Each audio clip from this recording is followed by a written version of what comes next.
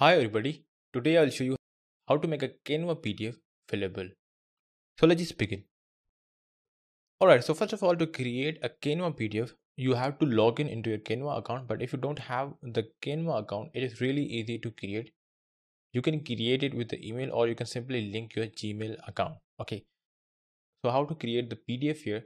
So for the PDF, I would actually like to go with a, some kind of form here. So let's just write down form here now you can see this we have bunch of different forms. And you can also go with the later here. So let's write down later. So you can go with a4 letter you can go with responsive letter so it simply depends on you but i would actually go with form. So let's write down form again. And from here let's just click on see all. Now you can see that we have the bunch of different templates of form here so I'll simply go with this form here. And let's just click on customize this template. Okay so right now we only have the design of the form here. So this is not a fillable pdf at the moment. So you can simply customize the form here according to your need. But right now i just simply keep everything like this. All right so now let's click on the share and click on the download. And we have to change the value here to the PDF. Now let's click on the download. So this would actually download the form in the PDF format. Alright, so now you can see this, we have this survey form. But the thing is, this form is actually not fillable at the moment. This is only the design of the form. So if I just click here on the address, on the email or on the phone, you can see here, we don't get anything here. So how can we make this form fillable? So we have to go to the website here. So let's just write down DocHub here. And you will be able to see dochub.com okay so we have to go inside this. And as you can see this with the help of dochub we can actually edit sign and share the pdf online. So now at the moment i don't have any account. So let's click on sign up and create the account here so I would actually like to sign up with a Google. Alright, so I have signed in in my DocHub account here. So now we have to import the document.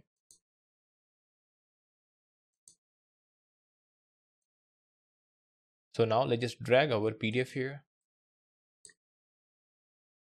Okay, so we have imported our survey form inside the DocHub. So from here, we can make this form fillable. Okay, so now let's just click here on the manage fields. Now you can see this we have the different options here. So we have the option of the text field. So if you want to add the text field you simply click here. If you want to add the paragraph field you will click here. And if you want to add the checkbox field you will simply click here. And if you want to go with drop down field you will actually click here. But the thing is for the drop down field you actually require the subscription of the DocHub pro.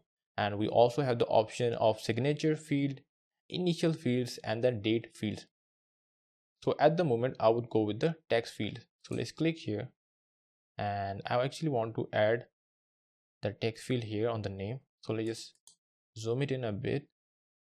Okay, so I just put it here. All right. So we can change the size of our field from here. All right. And the similar way, I can add the address let's change the size here.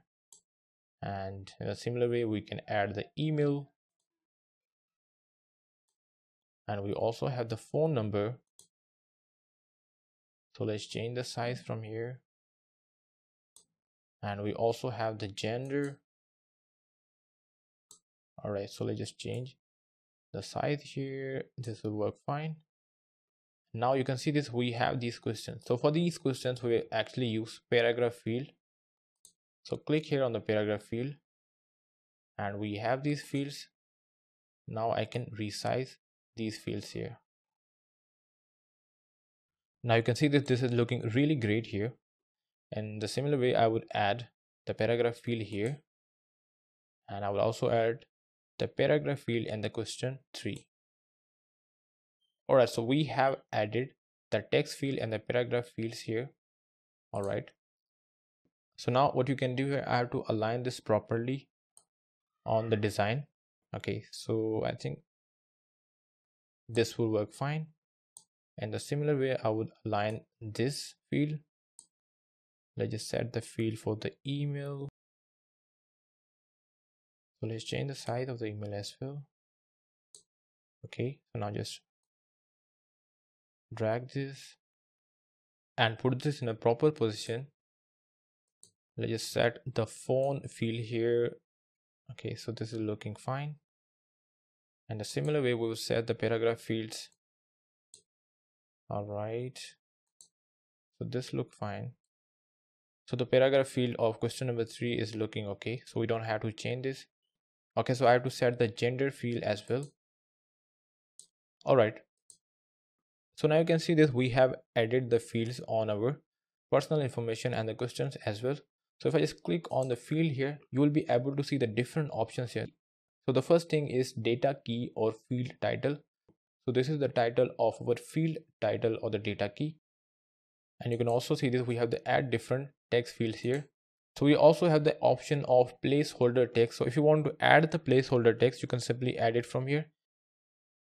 And if you want to make our field multi-line, you can also enable this option and we have this combed option and we also have this option of the required field. So we have the character limit, we have the border thickness and we have the background color. So you can explore or play around with these values here. But right now I won't be doing anything here. So now let's just uh, click on the download here and I want to download this okay so this is actually the document the version would be the current version. And we have the option to download or export into the computer drive classroom dropbox and onedrive. So now let's click on this on our computer. All right so this has actually created our pdf fillable. So now if i just click on the name here now you can see this, I can fill up the detail. Same goes for the address, email, phone number, and we can also write down anything in the question as well. So let's try to write down anything here. So I will simply write down my name here. And I can simply save this. So let's click on the save. Alright, so this is okay. But I think I have to change the name here. So this would be document number two. Click on the save now you will be able to see we have created our form and we have our data inside it. Okay so you can see this we have the data inside it. So this is how you can make a canva pdf fillable. So if you really find this video useful hit the like button and subscribe the channel